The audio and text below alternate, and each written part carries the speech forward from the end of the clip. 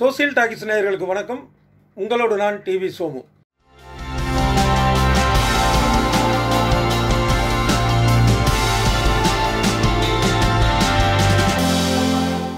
தமிழ்நாடு அரசு ஒரு முக்கிய அறிவிப்பை வெளியிட்டிருக்கிறது.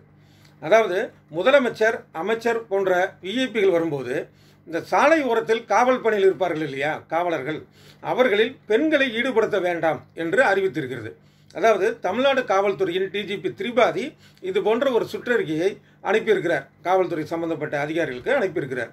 இது முதலமைச்சர் மு க ஸ்டாலின் அவர்களுடைய அறிவுரையின்படி ஒரு ஆலோசனைப்படி இது அளிக்க இந்த உத்தரவு அளிக்கப்பட்டது என்ற தகவல் வந்திருக்கின்றன. இது பாராட்டத்தக்க ஒரு விஷயம்தான் அது வரவேற்கத்தக்க விஷயம். ஏன் அப்படின்னா இது போன்று வந்து ஒரு விஐபிகளுக்காக சாலை ஓர பாதுகாப்பு பணியில் ஈடுபடும் போது மணிக்கணக்காக நிற்க வேண்டிய ஒரு சூழல் இருக்குது. இந்த மாதிரியான ஒரு பத்தடிக்கு ஒரு காவலர்கள் தேவையா என்பது அது இன்னொரு பக்கமாக நம்ம யோசிக்க வேண்டிய விஷயம். ஆனால் அது போன்ற ஒரு சூழல் இருக்குது அப்படிங்கிறப்ப அதில் பெண் காவலர்கள் ஈடுபடுத்தும் போது அவர்களை அனுபவிக்கக்கூடிய தொல்லைகள் கொஞ்ச நஞ்சம் அல்ல. அதாவது இப்போ இதே போல் ஆண் காவலர்களுக்கும் உண்டு. ஆண் காவலர்களுக்கும் பெண் காவலர்களுக்கும் உள்ள பிரச்சனை சீருடை இது ஒரே பாணியில் இருக்கலாம்.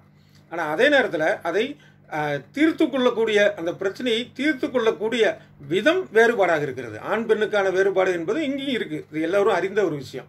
ஒரு அவசர ஆத்திர இயற்கை உபாதையை கழிக்க முடியாத ஒரு சூழல்ங்கிறது ஆணை விட பெண்ணுக்கு அதிகமான துன்பத்தை தரக்கூடிய ஒரு சூழல். இது தவிர மாதந்தோறும் ஏற்படக்கூடிய இயற்கை ஆன ஒரு விஷயமும் அவர்களுக்கு மாதவிலக்கு ஒரு சிரமகரமான ஒரு காரியம் இது எல்லாருக்கும் தெரியும். இன்னொரு விஷயம் சொல்லப்போனால் சில ஆண்டுகளுக்கு முன்னால் வந்த செய்தி. ஒரு கர்ப்பிணியாக இருக்கிறார் ஒரு பெண் காவலர். வெகு நேரமாக அந்த வெயிலில் இந்த காவல் பணி நின்று கொண்டிருந்த அவர் முடியாமல் மயங்கி விழுந்து கருக்கலைப்பு ஆகிவிட்டது அவருக்கு. ஸோ இது போன்ற ஒரு விஷயங்களை பார்த்தீங்கன்னா ஒரு ஆண் காவலரை விட ஒரு பெண் காவலருக்கான ஒரு சூழல் மிக மோசமாக இருக்குது அப்படின்னு தான் சொல்லணும்.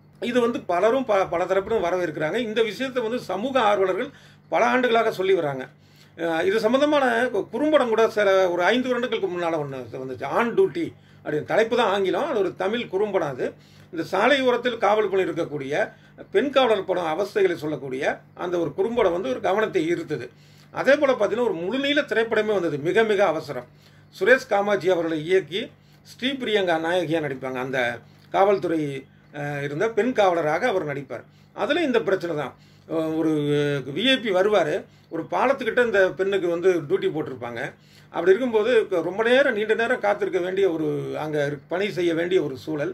அப்போ அவருடைய இயற்கை உபாதை கழிக்க முடியாத அளவுக்கான ஒரு துயரத்தை வந்து சொல்லியிருப்பாங்க. அது அந்த படமும் வந்து ரொம்ப சிறப்பாக இருக்கும். அதே நேரத்தில் அந்த படத்துடைய முக்கிய சிறப்பு வந்து அதோடைய அந்த கிளைமாக்ஸ் காட்சி. ரொம்ப ஒரு அருமையாக இருக்கும். பார்த்தவர்கள் எல்லாம் பாராட்டின ஒரு விஷயம் அது. இந்த அதில் வந்து இதே பிரச்சனை தான் சொல்லியிருந்தாங்க. இப்போ இதை எடுத்து க- அந்த படத்தோட இயக்குனர் சுரேஷ் காமாட்சி அவர்கள்ட்ட கூட பேசினேன். இந்த மாதிரி தமிழ்நாடு அரசு தமிழ்நாடு காவல்துறை அறிவித்திருக்குதே இதை பற்றி என்ன நினைக்கிறீங்க? உங்களுடைய இது அப்படின்னு. அவர்கள் மிக ஒரு மகிழ்ச்சியாகவும் ஒரு நெகிழ்ச்சியாகவும் அதை நான் உணர்ந்தேன். இது வந்து ஏன்னா இது வந்து ஒரு பொது விஷயமாக எடுத்தோம். அந்த திரைப்படத்தை வந்து வெறும் வழக்கமான வந்து ஒரு மசாலா படமாக இல்லாமல் ஒரு செய்தியை சொல்லக்கூடிய ஒரு படமாக இருக்கணும். அது இல்லாமல் இதுவரையும் சொல்லாத செய்தி ஒரு விஷயமா இருக்கணும் அப்படின்னு தான் அந்த படத்தை எடுத்தோம். அதுக்கான ஒரு விஷயம் வந்து கிடச்சிருக்கு இப்போ அப்படின்னு மகிழ்ச்சியாக இருக்குன்னு. அந்த படத்தில் வந்து ரொம்ப சிறப்பாக நடிச்சிருப்பாங்க ஸ்ரீ பிரியங்கா. அவங்கள்ட்டையும் பேசினேன். அவங்களுக்கு இது ரொம்ப ஒரு நெகிழ்ச்சியான ஒரு மன நிறைவான ஒரு இது அது அறிவிப்பு ஒரு உத்தரவு அப்படின்னு சொல்லி சொன்னாங்க. இப்போ இந்த மாதிரி இதில் இன்னொரு விஷயம் என்னென்னா இந்த பெண் காவலர்களுக்கு இந்த மாதிரியான ஒரு பிரச்சனை இருக்குது அப்படிங்கிறத காவல்துறை அதிகாரிகிட்ட கொண்டு போன செய்தியாளர்களும் உண்டு. அப்போ க ஐபிஎஸ் அதிகாரி நட்ராஜ் வந்து சென்னை மாநகர ஆணையாளராக இருந்தார். அப்புறம் பின்னாடி அதிமுகவில் இணைந்து எம்எல்ஏ அவர் இருந்தார் அப்போ. அப்போ அவர் வந்து ஆணையாளர் சென்னையாளர். அவர்கிட்ட இந்து பத்திரிகையில் வேலை பார்க்கக்கூடிய சுஜாதா அப்படிங்கிற செய்தியாளர் கேட்டாங்க. இது மாதிரி பெண் காவலர்களுக்கு இது மாதிரி அந்த அந்த பாதுகாப்புக்காக நிற்கும்போது இது மாதிரி பிரச்சனை இருக்குதே இயற்கை உபாதையை கழிக்க முடியாத பிரச்சனை இருக்குது அப்படின்னு. அவர் அதை உடனே என்ன பண்ணார்? ஒரு நல்ல விஷயம் அது. உடனடியாக அதை கவனத்தில் கொண்டு அந்த சென்னை கா காவல்துறை அந்த சென்னை மா மாநகராட்சி காவல்துறை எல்லைக்கு உட்பட்ட அந்த காவல்துறை வேன்கள் இருக்கும்ல அதில் ஐந்து வேன்களில் வந்து இந்த கழிப்பறை வசதியை ஏற்படுத்தி கொடுத்தார். அந்த வாகனங்களில் வந்து இருக்கும் அப்படிங்கிற மாதிரி. அதுக்கப்புறம் இது தொடர்ச்சியாக அடுத்த சில மாதத்தில் இன்னொரு செய்தியாளர் ஒரு கேள்வி கேட்டார். நாப்பா சேதுராமன் அப்படின்னு. அவர் சொன்னார் இது மாதிரி அவர் ஒரு ஐந்தாறு வாகனங்களில் வச்சுருக்கிறீங்க நல்ல விஷயந்தான் அதே நேரத்தில் இப்போ காவல்துறை பணியில் இவங்க ஒரு பக்கம் நிற்பாங்க இந்த பெண் காவலர்கள். அந்த வாகனம் வேறு இடத்துல ரோந்தில் இருக்கும். அப்போ எப்படி அவங்க அதை பயன்படுத்துறதுக்கு வந்து வாய்ப்பாக இருக்கும்? அப்படின்னு. உடனே அதுக்கும் ஒரு தீர்வு ஒரு உடனடியாக பண்ணார்.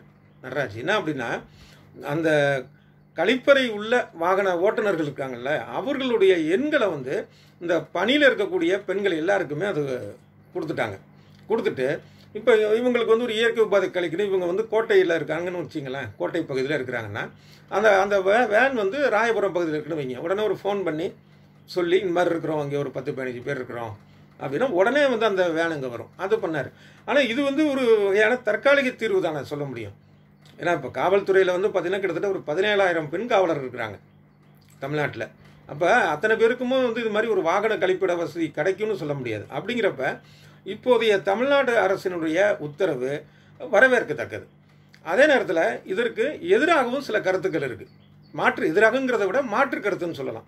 எப்படின்னா இப்போ க பெண்கள் வந்து இந்த காவல்துறையில் சேரணும் அப்படிங்கிற கோரிக்கை வந்து ஆயிரத்தி தொள்ளாயிரத்தி எழுபத்தி ரெண்டில் தமிழ்நாட்டில் சேர்றாங்க. அந்த மாதிரி சேர்த்துக்கிறாங்க பெண் பெண்களை காவல்துறையில். அதுக்கு முன்னாடியே வந்து தொடர்ந்து வலியுறுத்திட்டு இருந்தோம்.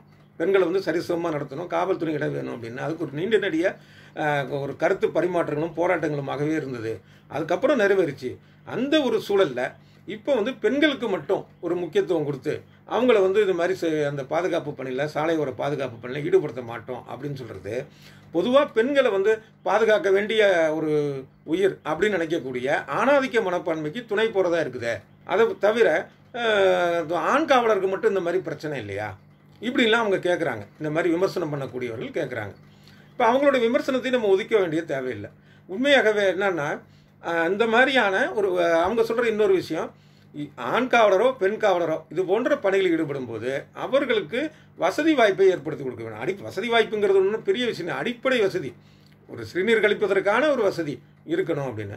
அது அங்கே மட்டும் இல்லை. பொதுவாகவே நாடு முழுக்கவே அதிகபட்சம் ஒரு ஐநூறு மீட்டருக்குள்ள ஒரு பொது கழிப்பறை இருந்துச்சுன்னா அது ரொம்ப நல்லது தான் முக்கியமாக இந்த மாதிரி காவல்துறை பணி நடக்கும்போது அங்கே ஆண் காவலர்களே ஈடுபடுத்தப்பட்டாலும் அங்கே வந்து இது மாதிரியான ஒரு தற்காலிக கழிப்பறை வைப்பது. அப்படி இல்லைன்னா ஏற்கனவே வந்து நடராஜ் அவர்கள் செய்தது போல வேனில் கழிப்பறை வசதி உள்ள வேன்களை அந்த பகுதியில் வைப்பது. இந்த மாதிரி விஷயங்களை அதை செய்யலாம். அதே நேரத்தில் த- இந்த ஏற்கனவே சொன்னது போல இந்த சாதாரண தீர்வை விட பெண்களை பெண் காவலர்களை இது போன்ற பணியில் ஈடுபடுத்த மாட்டேன் என்பது தற்காலிக அவசிய சூழ்நிலைக்கு அவசியமான ஒன்று தான் இப்போ சில சில அந்த விமர்சிக்கிறவங்க இன்னொன்று சொல்கிறாங்க கமாண்டோ படையில் வந்து பெண்கள் இல்லையா?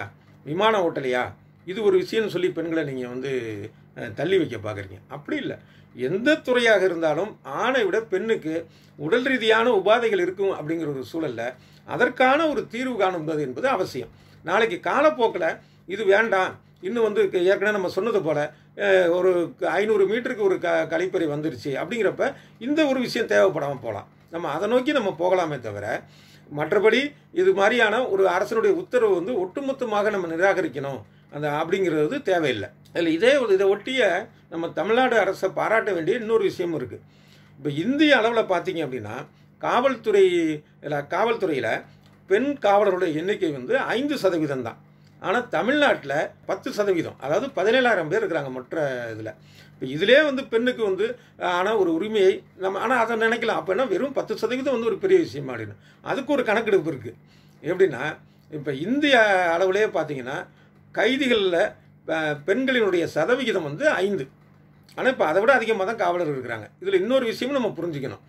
பெண் காவலர்களை வந்து நியமிக்கணும் அப்படிங்கிற ஒரு கோரிக்கை பலகாலமாக இருக்குன்னு சொன்னேன் இல்லையா? இருபத்தி ரெண்டில் தான் வந்தது அதுக்கு முன்னாடி இருந்தது. அதுக்கு என்ன காரணம் அடிப்படை காரணம் அப்படின்னா ஆண் காவலர்களே வந்து ஒருத்தங்க ஒரு ஒரு பெண்ணை சந்தேகத்துக்குரிய ஒரு பெண்ணை வந்து சோதனையிடுவது இல்லை அவங்களுடைய புகாரை பெறுவது அதுக்கு அவங்களை கைது செய்து அழைத்து போவது இது எல்லாமே வந்து பெண்களை பெண் பெண்ணையும் கூட பெண் கைதியையும் கூட இல்லை விசாரணையில் இருந்த பெண்ணையும் கூட ஆண்களே அதை அந்த விஷயங்களில் ஈடுபட வேண்டிய ஒரு சூழல் இருந்தபோது பலவித புகார்கள் எழுந்தன.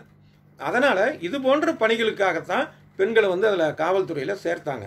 அதனால தான் அந்த விகிதம் கம்மியாக இருக்க தவிர மற்றபடி வந்து அது பெண்களை வந்து ஒரு இரண்டாம் பட்சமாக நினைக்க வேண்டும் என்பதில்லை. காலம் நிறையா இருக்குது காலம் மாறும். எவ்வளவோ விஷயங்கள் மாறி இருக்கு. அதுபோல் இந்த காவல்துறையிலையும் ஃபிஃப்டி ஃபிஃப்டி ஐம்பதுக்கு ஐம்பது பெண் காவலர்கள் அப்படிங்கிற ஒரு சூழலும் நாளைக்கு வரும். நம்புவோம். நல்லதே நடக்கும்.